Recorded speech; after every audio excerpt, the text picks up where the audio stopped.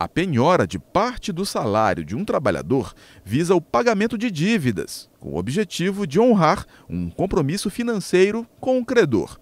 O ordenamento jurídico brasileiro prevê que o salário é impenhorável, porém, há exceções. Hoje, o nosso Código de Processo Civil, no artigo 833, ele prevê claramente que são impenhoráveis os salários, os subsídios, os soldos, mas esse mesmo Código de Processo Civil também traz exceções para esses casos, né?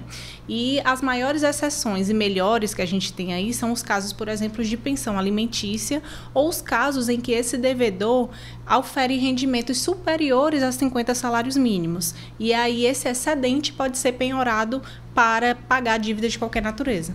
Segundo a advogada trabalhista, a lei não prevê um limite de porcentagem do salário a ser penhorado. Diferentemente do que muitos imaginam, né, e até do que muito se comenta, a legislação ela não traz um percentual taxativo do que pode ser penhorado.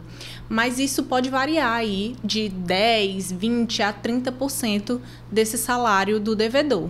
Nesses casos relativos a pensões alimentícias, justamente por essa natureza especial, essa natureza alimentar desse tipo de, de, de vencimento, nesse tipo de recebimento, é, essas pessoas podem ter uma penhora maior dos seus salários, havendo decisões que chegam até mesmo a 50% dos vencimentos. Né? Então, isso é algo que vai ser analisado de acordo com o caso concreto e vai ser decidido pelo magistrado que está analisando o processo.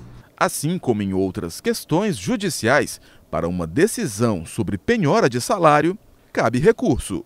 A regra é que todas as decisões judiciais podem ser passíveis de recurso. Então, no, no caso concreto, a gente precisaria ver né, como esse processo está, em que fase ele já se encontra. Na realidade, vai depender de qual esfera o processo tramita. Né? Na esfera civil, a gente pode chegar com o processo, quem sabe, nas instâncias superiores, no STJ, né? Inclusive, o STJ tem decisões recentes nesse sentido. Na seara trabalhista, a gente pode chegar, inclusive, até o TST. E, de fato, esses processos, independentemente da esfera, podem chegar às instâncias superiores.